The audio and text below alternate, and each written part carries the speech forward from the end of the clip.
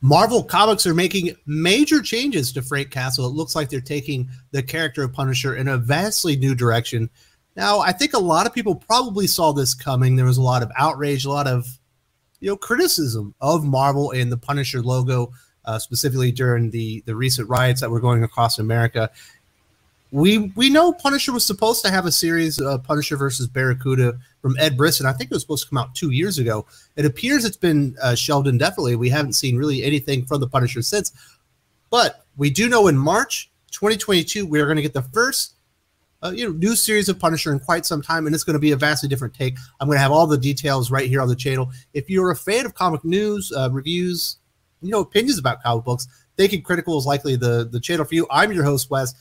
Definitely subscribe if you haven't, and hit the bell for notifications. So I think this was inevitable. I think a lot of people saw this coming. It definitely feels like Marvel are caving in once again to to uh, the Twitter mob or the, the social media mobs. They got a lot of criticism, a lot of feedback, and it definitely it definitely made me wonder, and I'm sure a lot of the Punisher fans or Marvel fans out there were wondering the same thing. What are they going to do with the character? It doesn't feel like it would be in Marvel's modus operandi to just ignore it and move forward with the character with whatever plans they had. It feels like they're very reactive, especially to anything that they feel, uh, you know, could could bring them some type of negative uh, outlook. I personally don't see how this uh, affects Marvel themselves, but obviously they did. So we are getting a new Punisher. It is still Frank Castle, but it's got he's going to have a whole new logo. He's going to have you know, he's he's going to be armed with swords now. He's not really going to have guns, gun violence, and they're going to be going in a vastly new direction with the character. Marvel Comics has a public perception issue from a lot of their customers, and I'm one of them. I'll be quite frank with you, that they are far too willing to acquiesce to the mob for whatever reason. Whenever the, the mob shows up, we know that uh, not, well, I guess it was a long time ago, maybe 10 years ago now, that uh, there was going to be a Blade series. It was going to be Blade's daughter. It's going to be written by Tim Seeley. And very small amount of public outcry essentially got that series canceled because Tim Seeley uh, is a white creator, and they said that was unfair for Tim Seeley to write, uh, you know, Blade's daughter would presumably be a black character. You know that that wouldn't be the right thing to do, and they just they they canned the series. that never ended up coming out. So they have a history of doing this, and it's gone over several you know regimes. You know, from the Axel Alonso regime or down to the CB Cebulski regime. Certainly, it doesn't feel like Marvel have grown a backbone with CB Cebulski, and it appears, and we don't know yet because we haven't seen the series, that they have once again acquiesced to to the mob, which I don't think is going to help their their perception issue. I don't think it's going to help them with Punisher fans and I don't think it's just going to help with uh, Marvel Comics readers for the most part. They're not going to appreciate the changes that are being put forward with the character. That's just my speculation. Obviously, only time will tell. We do know that the Punisher creator, Gerry Conway himself, has recently recently spoken out, specifically while those uh, the, the, the George Floyd, riots were going on against the Punisher logo, because you do see a lot of, of pro police sentiment with that logo on and he I guess he wasn't very appreciative of that, and he wanted to see you know the Punisher to go away, and I think that probably would have been the right choice if they're really upset with the character and it offends them having this character and this logo associated with them. Just don't use the character. There's nothing out there that says Marvel has to produce a Punisher comic or include him in any of their crossovers or whatever. But you know, they're still a business. They still want to make money, so they're trying to you know play in that gray area where they're acquiescing the mob. We'll, we'll take his guns away. We'll give him a new logo, one that's not associated with the things that the people that we don't like, apparently, police and pro police, uh, you know, supporters. We'll take those things away from the character, but we still want to publish him because you know he's a money making character. He's not Spider Man.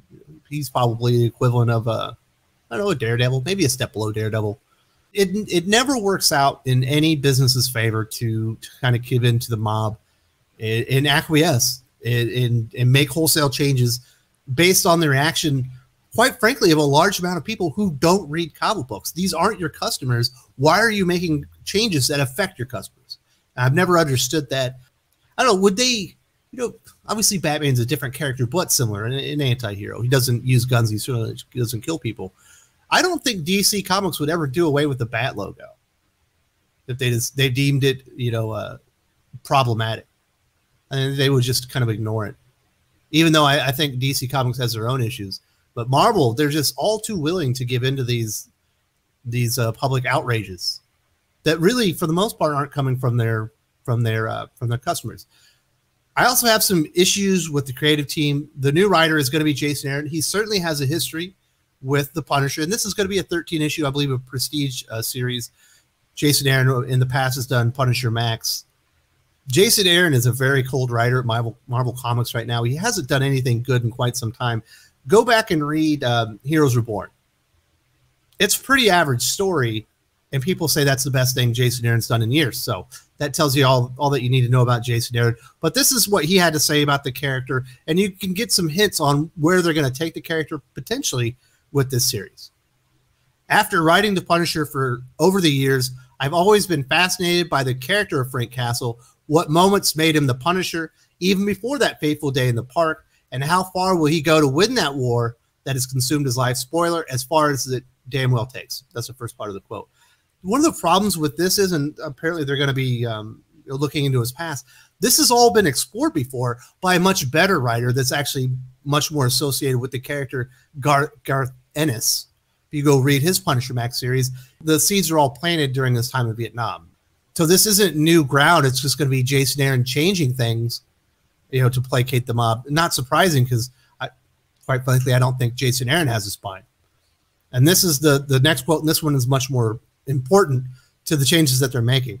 This story is is uh, des- is this story is the destined next step. Man, learn how to speak, Jason Aaron. This story is the destined next step in the dark and tragic evolution of Frank Castle from troubled kid to heroic soldier to revenge driven vigilante to the duly anointed, listen to this, king of killers. Believe me when I say I am as excited about this story as anything I've ever written for Marvel it feels like you know he's going to be working with the hand and specifically he's going to be working with the the leader of the hand a character called the beast he's going to be it appears to be like i don't know if he's his sellsword i don't think he's a mercenary for him but he's going to be you know working specifically for him and be one of his blades. And they're calling him the king of killers right now. That certainly has a connotation to it that you know he's a murderer. That certainly takes away the anti-hero, which is what they've mostly sold Punisher as over the years. It kind of takes that edge off him. It sounds like a full-fledged villain to me. Now, Punisher is always. I don't even know if he's always lived in a gray area. There's times, sometimes where he's definitely went over the line. Whether you agreed with like who he was uh, going after or not, he would definitely go way too far. Announcing that he is the king of the killers and working for the hand and this character, the Beast, feels like they're just saying, you know what, the Punisher is a villain. There's another issue with this comic book, and it's with the artist. I won't get as in, in depth on this as I have the rest, but the artists that they have are Jesus Saiz and Paul's Paul Azateca. These are the absolute wrong artists for Punisher. Punisher is a very gritty character. Even this newer version sounds like he might be more gritty because it sounds like he's a villain. Jesus Saiz is one of the cleaner artists that you're going to see. He's he's not exactly Michael Yannon, but he's actually kind of close as far as the cleanliness, this the way the the the aesthetic of the art.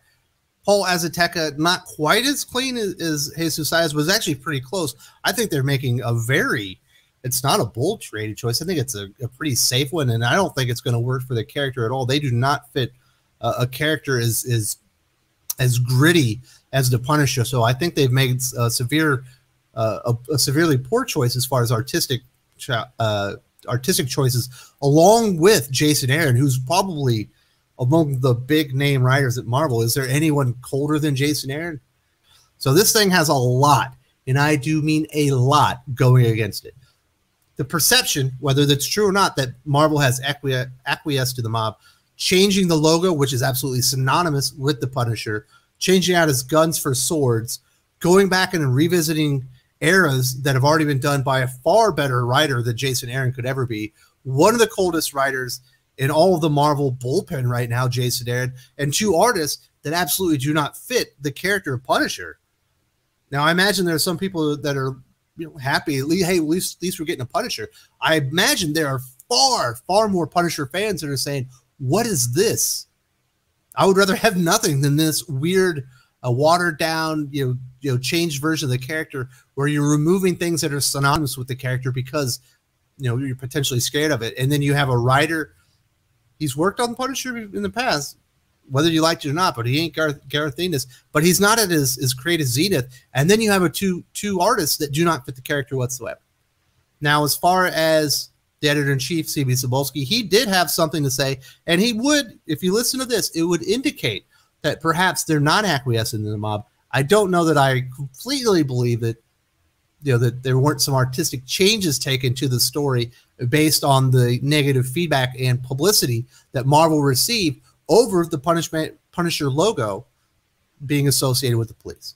This is what CB Cebulski had to say. A few years ago, Jason Aaron came into one of our creative summits with a pitch for Frank that made our collective jaws drop.